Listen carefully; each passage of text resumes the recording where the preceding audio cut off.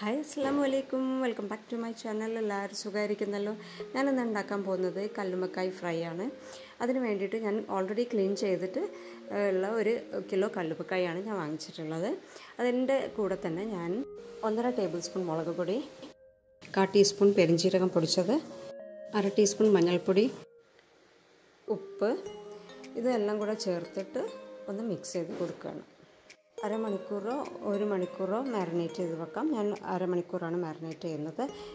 Ginger garlic ഞാൻ ഇപ്പോഴാണ് ഇട്ട് കൊടുക്കുന്നത്. ചീനച്ചട്ടിയിലേക്ക് വെളിച്ചെണ്ണ ഒഴിച്ച് ചൂടായതിന് ശേഷം അതിലേക്ക് കല്ലുമ്മക്കായെല്ലാം ഇട്ടിട്ട് ഫ്രൈ ചെയ്തിട്ടെടുക്കാം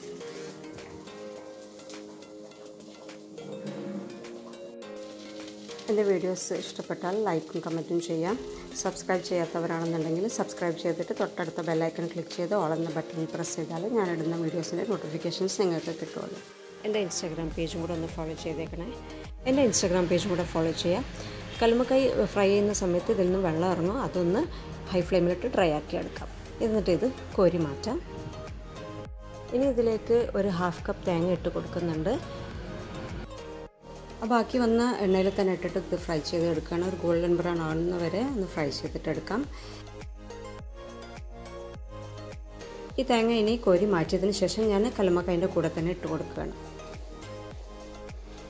അതിലേക്ക് ഇനി രണ്ട് ടേബിൾ സ്പൂൺ വെളിച്ചെണ്ണയും കൂടെ ഒഴിച്ചിട്ട് കടുക് ഇട്ട് കൊടുക്കുകയാണ്. കടുക് ഇഷ്ടമില്ലാത്തവർക്ക് അത് സ്കിപ്പ് ചെയ്യാം.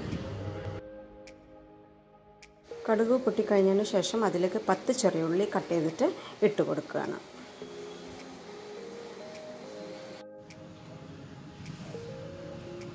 അതൊന്ന് മൂത്ത് വരുന്ന സമയത്ത് അതിലേക്ക് പച്ചമുളക് കുറച്ച് കറിവേപ്പിലയും കൂടി ഇട്ട് കൊടുക്കാം.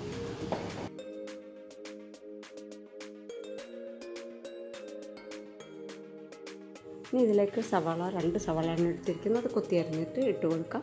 അത് നന്നായിട്ടൊന്ന് ഫ്രൈ ചെയ്തിട്ടെടുക്കാം ഒരു ഗോൾഡൻ ബ്രൗൺ ആകുന്നത് വരെ ഒന്ന് ഫ്രൈ ചെയ്യാം. ഇതിലേക്ക് കുറച്ച് മഞ്ഞൾപ്പൊടി കാ ടീസ്പൂണിൽ പകുതി മഞ്ഞൾപ്പൊടി അര ടീസ്പൂൺ മുളക് പൊടി കാ ടീസ്പൂൺ മല്ലിപ്പൊടി കാ ടീസ്പൂൺ പെരിഞ്ചീരകം പൊടിച്ചത് ഉപ്പ്. ഇതെല്ലാം കൂടെ മിക്സ് ചെയ്യാം. മസാലപ്പൊടികൾ ഞാൻ കുറച്ച് ചേർക്കുന്നുള്ളൂ. ഓൾറെഡി നമ്മൾ കല്ലുമ്മക്കായിൽ ചേർത്ത് കൊടുത്തിട്ടുണ്ടല്ലോ. അതുകൊണ്ടാണ്. പിന്നെ ഇതിലേക്ക് ഇഞ്ചി വെളുത്തുള്ളിയും കൂടി ഇട്ടിട്ട് മിക്സ് ചെയ്തിട്ടെടുക്കാം. കുറച്ച് പുളി വേണമെന്നുണ്ടെങ്കിൽ ഒരു തക്കാളി ചേർത്ത് കൊടുത്താൽ മതി.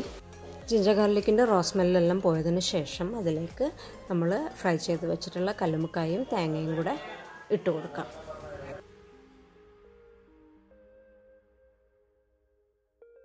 അപ്പോൾ ഇതെല്ലാം ഒന്ന് നന്നായിട്ട് കമ്പൈൻ ചെയ്തിട്ടെടുക്കാം.